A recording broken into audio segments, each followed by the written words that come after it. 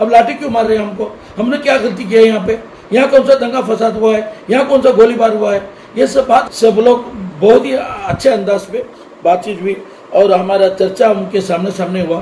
तो उन्होंने भी थोड़ी गलती का इजहार भी किया। तो हमारे लोग बहुत हमारे पास सवाल करते हैं। भटकल में, कुंदापुर में, उड़पी में हर जगह दो दो घंटे छूट तो इंशाल्लाह हम लोग इतना सब्र करें तो हमारे जिम्मेदार लोग भी, जिम्मेदार लोग भी हमारे यही चाहते हैं कि ये बंद रहने दो, मुकम्मल ये बीमारी जाने दो, थोड़ा हम सब्र करेंगे, सब्र का फल मीठा होता है। ये व्हाट्सएप में आजकल बच्चे लोग बहुत बात कर रहे हैं। ये बहुत तकलीफ़ हो रही है डिपार्टमेंट को भी, हमको भी। जो आदमी का प्रॉब्लम है, उसको डायरेक्ट फ़ोन फ़ोन करो ना। इनायतुल्ला आपको मिस्टेक है इनायतुल्ला को फ़ोन करके पूछो। इनायतुल्ला ऐसा किया बल्कि व्हाट्सएप में बात करके पूरा टमटम करते हैं। या कोई एक बात करते डायरेक्ट कोई नहीं बात करते ये डिपार्टमेंट वाले भी बहुत परेशान हुए। अभी अभी हमको साहिल आनंद से खबर मिली है कि दो लड़कों के पर बाकायदा हमारे पर एफआईआर हुआ है। वो आशा कार्यकर्ता जो ग्रीन ड्रेस डाल के घर घर में आ रही है बीमारी और आपके पूछने के लिए आपके सेहत का ख्याल रख के पूछने के लिए। अब ये न, न समझे कि वो बीएलओ आया है ये सी एन ए के बारे में एनआरसी के बारे में एनपीआर के बारे में इंक्वायरी ये बिल्कुल नहीं है। वो कौन सा भी सवाल नहीं था हमारे बच्चे साथ में रहेंगे। अगर कोई लड़का नहीं है तो आप अपने मोहल्ले में उनके साथ जाइए। ये हमारा डीसी का सवाल है। उन्होंने ओपन कहा हमसे, वीडियो कॉन्फ्रेंस में। पूरे कर्नाटक में खुला हो तो हम बर्तन में खुला नहीं करेंगे। जब तक आशा कार्यकर्ता हमको रिपोर्ट बराबर नहीं देंगे, तब तक हम बर्तन को ओपन नहीं करेंगे। इंशाल्लाह एक हफ़्ते के अंदर अच्छा रिपोर्ट मिलेगा। सबका भी इंशाल्लाह नेगेटिव हो जाएगा, या कुछ भी बीमारी नहीं रहेंगी। मैं समझता हूँ हमारे एसी साहब बड़ा दिल करेंगे, और हमको दूसरे आश्चर्य में, तीसरे आश्चर्य में, मस्जिद में नमाज़ पढ़ने की हमको इजाज़त मिल सकती है। मैं अभी इस वक्त हमारे तंजीम की तरफ़ से आज हमारे पुलिस ऑफिसर के और एसी के साथ जो मीटिंग हुई, उस सिलसिले में आपको आगाह करना चाह रहा हूँ मीडिया वालों को प्रेस वालों को, क्योंकि हमारे जनरल सेक्रेटरी ने मुझे हिदायत दी कि इस रिपोर्ट को आपके सामने, आवाम के सामने पेश करेंगे। क्या की बात, हमारे सामने कुछ बातचीत होगी क्या क्या बातचीत होगी, मैं आपके सामने रखना चाह रहा हूँ। कल हमारे जो वाक़ हुए भटकल में, जो मखदूम कॉलोनी में मौलाना को जो लाठीचार्ज की, मौलाना अफरोज साहब और हमारे मुजम्मिल साहब के आयशा, अस्सी हॉस्पिटल के नज़दीक एक पुलिस जीप ने उसको मारने को गई और वो डर के बेचारा नीचे गिर गया, सर में बहुत चोट लग गई और उसको फ़ौरन हमारे ज़िम्मेदार लोग वहाँ पे पहुँच गए, हमारे रकीब साहब, जनरल सेक्रेटरी और हमारे यूनुस भाई वगैरह वहाँ पे पहुँच गए। उसके बाद में वो पुलिस कंप्लेंट वगैरह हो गया, उसको हम कुंदापुर लेके गए। फिर वहाँ से अभी सुनने में आ रहा है कि मैंगलोर में हॉस्पिटल में उसको भर्ती किया है। सेहत भी उसका रिपोर्ट अभी तक मालूम नहीं होगा। बहरहाल ऐसे वाक़ होने के बाद मखदूम कॉलोनी में जो मौलाना अफसोस के ऊपर एक लाठीचार्ज भी हुई और उसके बाद और एक लड़का था, नौजवान लड़का था, बाईस साल का, उसका नाम मालूम नहीं है। पर उससे पहले भी एक दो तीन दिन ऐसे वाक़ हुए जो लॉकडाउन में जो पुलिस ने थोड़ा ज़्यादती की और थोड़े लोग केस भी किए। बहरहाल ऐसे वाक़ जो ये लॉकडाउन में हो रहे हैं तो हम लोगों ने पुलिस के साथ आज अपॉइंटमेंट लिया था पाँच बजे और हमारे साथ आज उनके साथ मीटिंग भी हुई। उससे पहले भी हम लोग बात किए थे, मगर थोड़ा कंट्रोल में था। स्टार्टिंग में उन्होंने लाठीचार्ज किए थे लॉकडाउन में। उसके बाद में कारोबार में एसपी हमारे जो बड़कर में आए, उसके साथ हमारी बातचीत हुई। बाद में एसपी साहब ने पुलिस से बात करके थोड़ा नॉर्मल हो गया था मामला। तो आजकल हमारे लोग भी थोड़ा रास्ते में आओ जाओ थोड़ा शुरू हो गए। तो पुलिस वाले भी थोड़े हमारे ऑफिसर अच्छे भी हैं। हमारे एसी साहब जो पकड़ते हैं तो उसको पास पूछते थे या उसकी गाड़ी सीज करते थे, मगर लाठी से मारते नहीं थे। बहरहाल ये सब लाठी मार के देखने हमारे लोगों ने, जिम्मेदारों ने, हमारे आज शाम के ठीक पाँच बजे ए सी ऑफ़िस में एक मीटिंग अरेंज हो गई हमारे साथ, और उसमें हमारे एसी साहब थे, और हमारे डीएसपी गौतम साहब, और हमारे साजिद मुल्ला एसी और हमारे तहसीलदार साहब सीपीए साहब पीएसए साहब, पूरे हमारे गवर्नमेंट के अधिकारी और हम लोग हमारे तंजीम के सदर परवेज एस एम परवेज साहब और हमारे जनरल सेक्रेटरी रकीब साहब, इम्तियाज़ उद्यावर यूनुस नजीर और मैं और हमारे नसीब खरीफा हम लोग सामने बातचीत शुरू हुई। तो उन्होंने सबसे पहले बात ये की थोड़ी लाठी तो नहीं होनी चाहिए, हमारे इसी साहब ने कहा। हमने उनको साफ़ अल्फाज में कहा, देखो हमारे आप, हमारे हमारे भटकल के आप ऑफिसर हैं डीएसपी साहब हैं, आप हमारे इंचार्ज हैं और एसी साहब हैं, आप ही हमारे इंचार्ज हैं यहाँ के।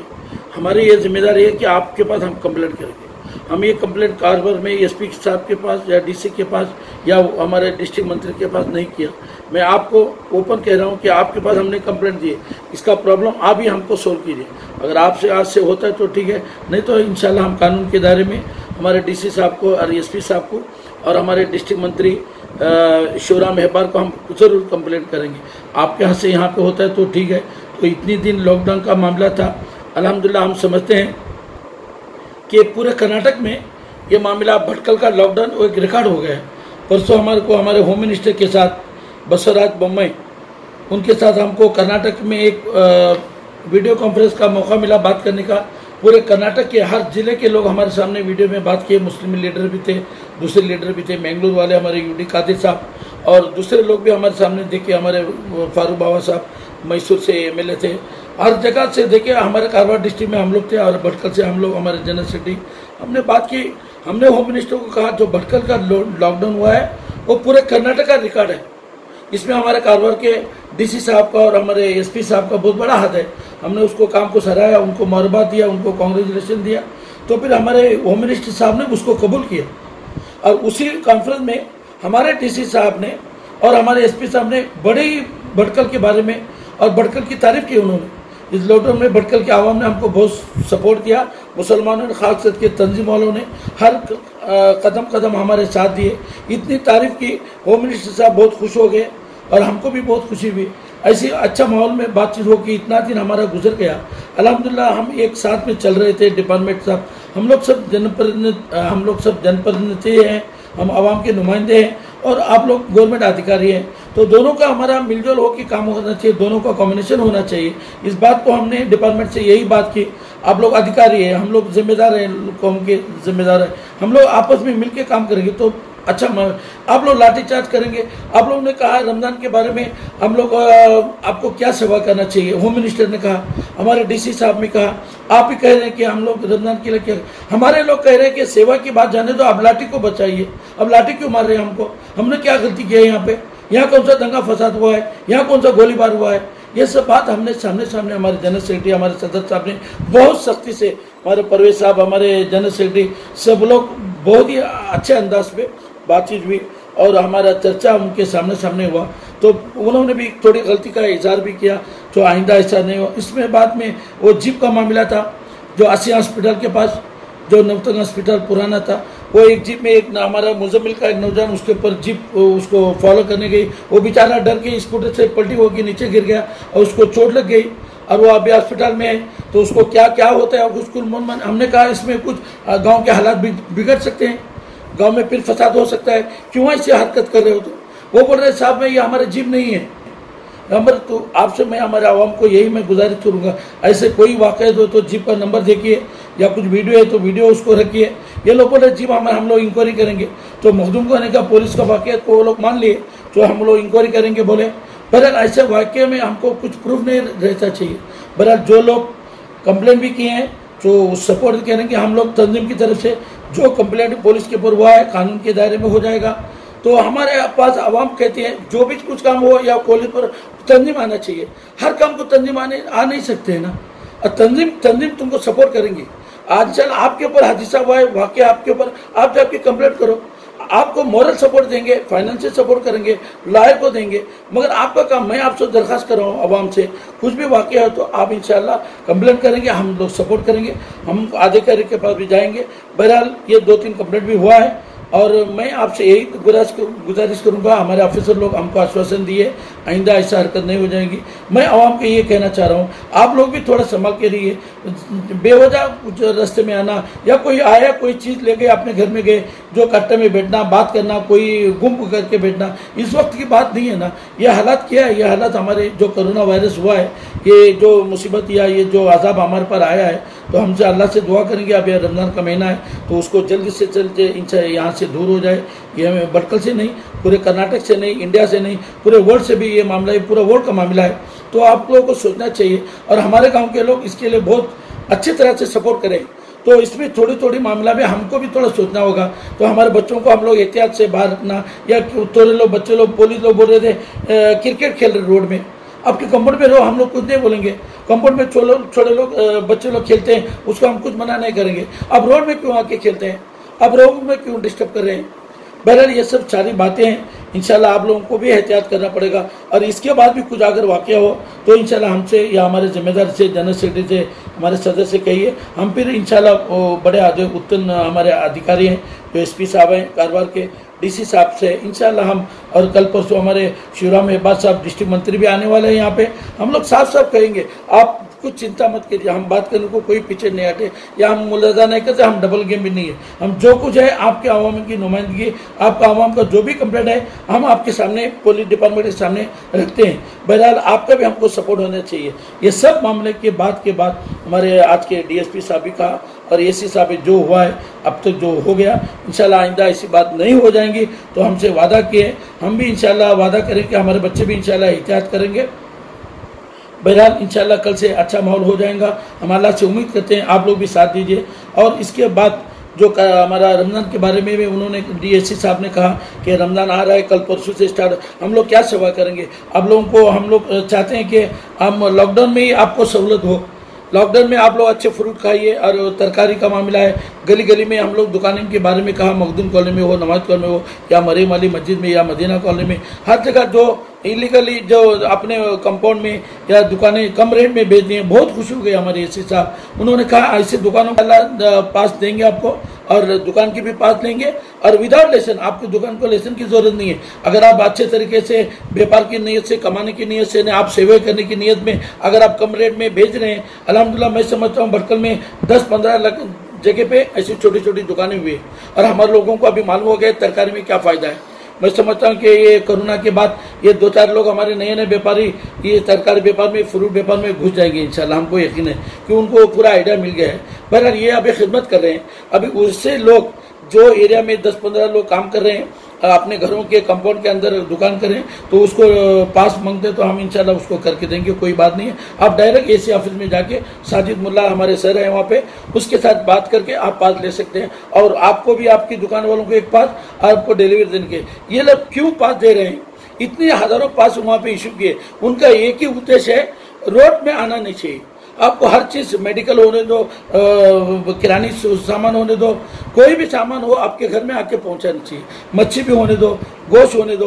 बहरहाल उनका यही टारगेट है, आपका आना जाना थोड़ा बंद होना चाहिए, ये की मामला है। और गवर्नमेंट से भी जो भी हॉस्पिटल में जाना है, या कुछ आपके मरीज़ रहते हैं, या डिलीवरी का केसेस हैं, उसमें गवर्नमेंट ने अपना एक नंबर भी दिया है, वो भी आप नोट कीजिए, उनका हेल्पलाइन का नंबर है, double two six four double two. भाई, zero eight three eight five मार के double two six, four double two. इस पे आप फ़ोन करेंगे। अभी कल ही कल रिक्शा डाले हैं, उसको दस रिक्शा। उसमें हमारे लोग भी है, हमारे भाई लोग भी है गाँव के। टोटल दस रिक्शा, वो फ्री सर्विस करेंगे आपको। तीन चार एंबुलेंस है और दो जीप गाड़ी है। और हमारे लोग तंजीम के भी चार पाँच गाड़ी है। हम लोग भी तंजीम वाले भी हमारे पाँच पाँच लेके गाड़ी रखे हैं। हमारे सादिक साहब है, हमारे यूनुस रुकनुद्दीन है, हमारा मौलाना अजीजुर रहमान है। और मुबीद नामूदी है, इम्तियाज़ उद्यावर है, नसीब खलीफा है।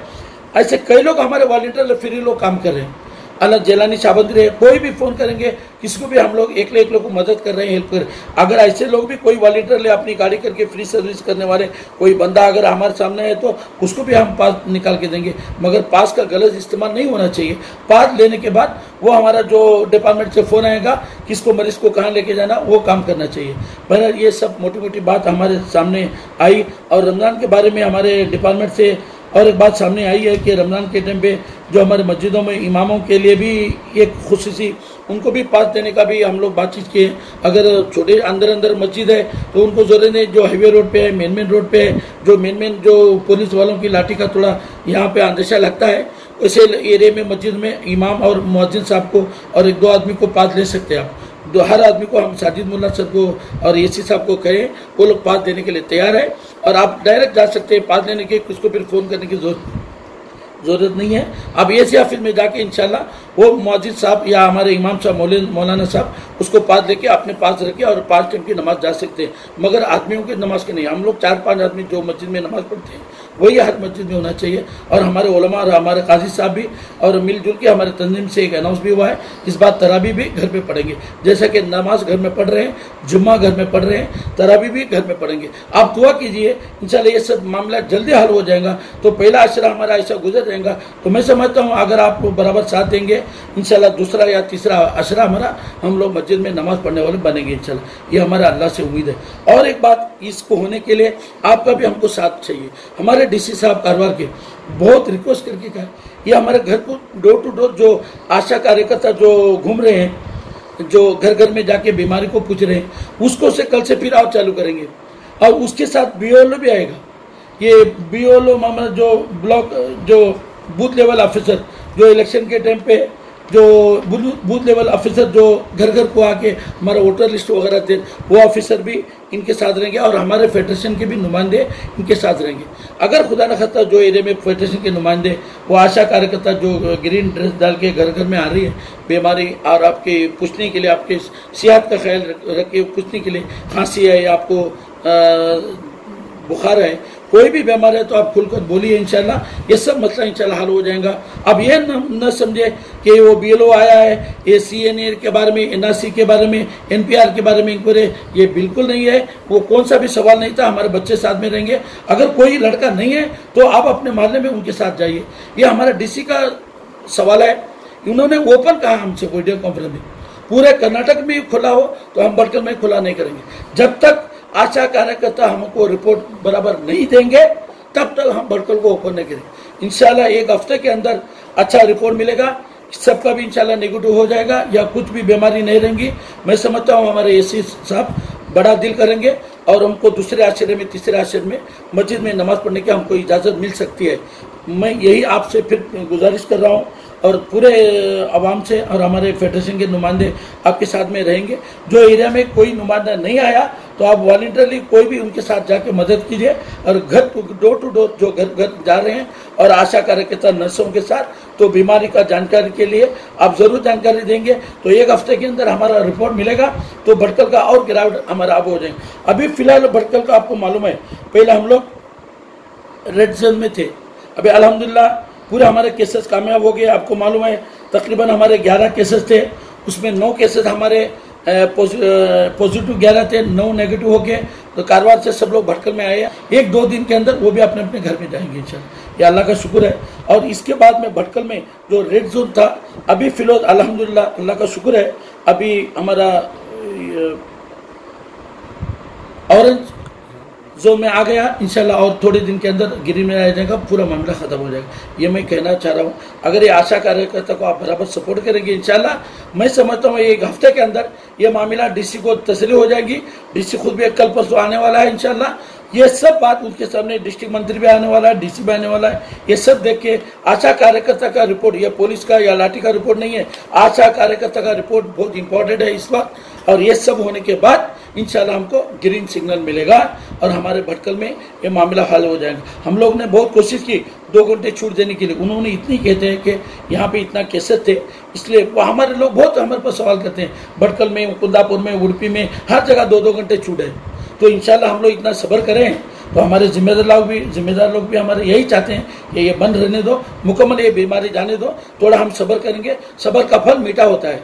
बहरहाल ये लिए हम लोग भी थोड़ा सब्र कर रहे हैं। हमारी भी यही ख्वाहिश थी कि दो घंटा खुला होना चाहिए। तो इंशाल्लाह ये मामला पूरा घर को डोर टू डोर जाएँगे तो पूरा मसला हमारा हल हो जाएगा तो बीमारी पूरी भाग जाएँगी, चले जाएँगे तो इंशाल्लाह हम लोग मिलकर इबादत करेंगे। और होम मिनिस्टर साहब खुद ने कहा, रमज़ान का महीना उर्दू में कहा उन्होंने। रमज़ान का महीना आ रहा है, इबादत का महीना है, ये मांगने का महीना है, अब अल्लाह के पास कुछ दुआ करो और हमारे गाँव के लिए, हमारे मुल्क के लिए दुआ करो। ये सब मामला इंशाल्लाह उनके भी दिमाग में है और बीजेपी गवर्नमेंट है, फिर भी अलहमदिल्ला होम मिनिस्टर साहब, हमारे येडियुरप्पा सीएम साहब भी अच्छे दिल को खोल के बात कर रहे हैं सपोर्ट कर रहे हैं हमारे लोगों को। हमारे जो मंत्री हैं हेपार साहब भी हमसे डायरेक्ट बात कर रहे हैं, हमने उनको मुहरबात भी दिया और हर काम को दो तीन बार मैं उस फ़ोन में उनके टच में हूँ और कोई मसला तो इनायत हमको डायरेक्ट फ़ोन करो। हम इतनी बात हमारे साथ कर रहे हैं तो इंशाल्लाह आप बेफिक्र रहो, आवाम से मैं इतना गुजारिश करूँगा, आप लाठी बेटी को टेंशन मत करो, जो कुछ मामला है हमारे सामने ला लो और लाएँगे आप, इंशाल्लाह हम डिपार्टमेंट के साथ कानून के चौके में रह के उनके ऊपर कार्रवाई भी करेंगे इंशाल्लाह। और, और आपकी तरफ़ से हम लोग बात भी करेंगे। ये सब मोटी मोटी बात ही मैं आपके सामने रखा हूँ कि हमारे तंजीम की तरफ़ से इस वक्त मैं बात कर रहा हूँ। और कुछ भी प्रॉब्लम है तो हमारे जनरल सेक्रेटरी सदर के साथ आप कभी भी फ़ोन में बात कर सकते हैं। इतना फ़ोन आ रहा है उनको। बहरहाल ये सब हमारे लिए बहुत हमको एक खिदमत करने का मौका अल्लाह ताला दिया है। तो आप लोग भी दुआ करें, इंशाल्लाह हमारे भाई लोग जितने भी गाँव में बैठते हैं या बाहर भी वो फ़िक्र रखते हैं हमारे फॉरन में हो या इंडिया में हो, बहुत लोगों ने बेंगलुरु में भी हमारे लोग हैं मैसूर में भी हमारे लोग अटके अटके हुए हैं।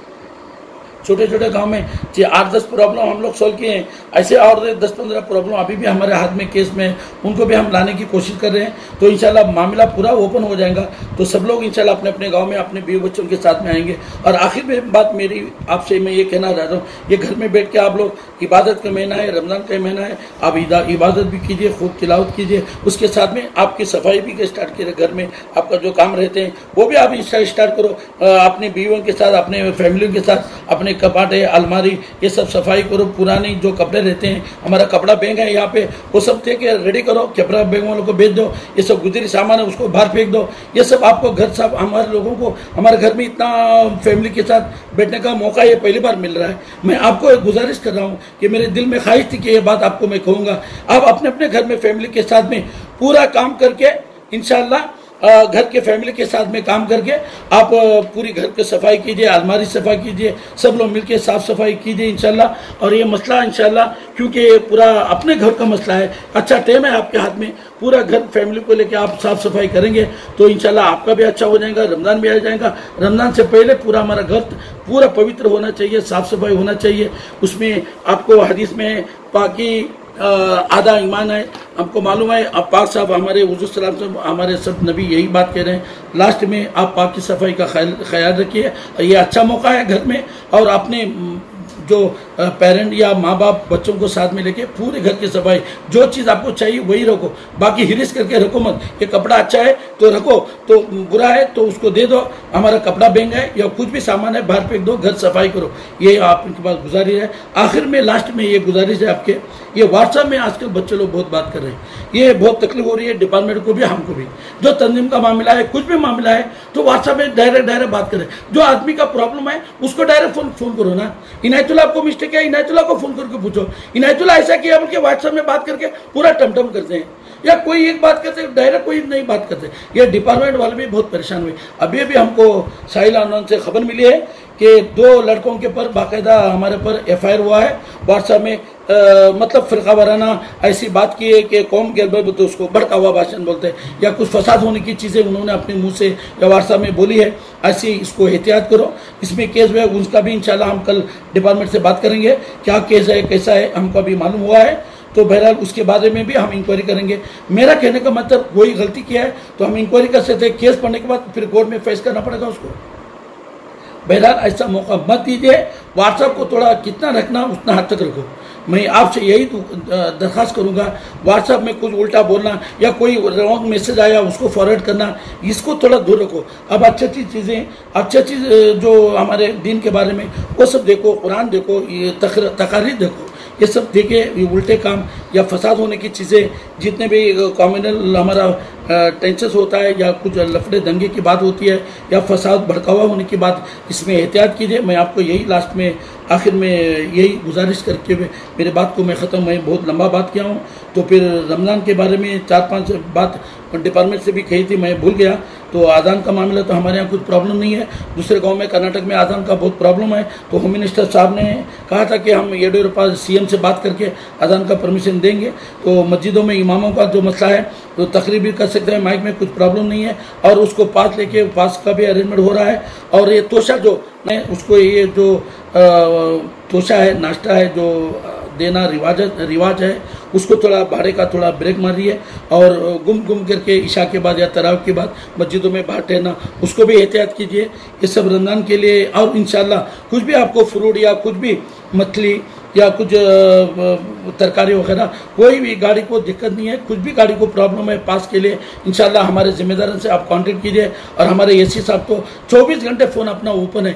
हमारा नंबर किसी को देना वो दे दो, आप डायरेक्ट कांटेक्ट कर सकते हैं और बहुत इंटरेस्ट से काम कर रहे हैं। वो भी एक आईएएस ऑफिसर हैं यहाँ के, ए साहब और हमारे डीएसपी साहब भी गौतम साहब भी गौतम साहब भी बहुत अच्छे हैं, यंग है एकदम।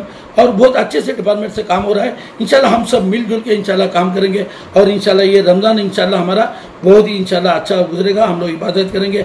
यही अफसोस है कि हमको मौका नहीं मिल रहा है कि इबादत मस्जिद में करना, जो हमारे लोग, बुज़ुर्ग लोग, काजी लोग करें, जो हमारी मजबूरी है तो इंशाल्लाह हम अल्लाह से दुआ करेंगे। अल्लाह ताला ये जल्द से जल्द ये कोरोना वायरस की जो बीमारी हमारे पर अफद आई है उसको दूर करे और हमारे सब अल्लाह ताला हमारे सब गुनाहों को माफ़ करे। तो ये मेरी बात को मैं ख़त्म करता हूँ और मैं ज़्यादा आपको टाइम ले आऊँ। मैं माफ़, अगर बात में मेरी कुछ गलती होगी तो माजरत के माजरत के साथ मेरी बात को मैं ख़त्म करता हूँ। वाखुदाना अलहमदिल्लाबिलमिन शुक्रिया।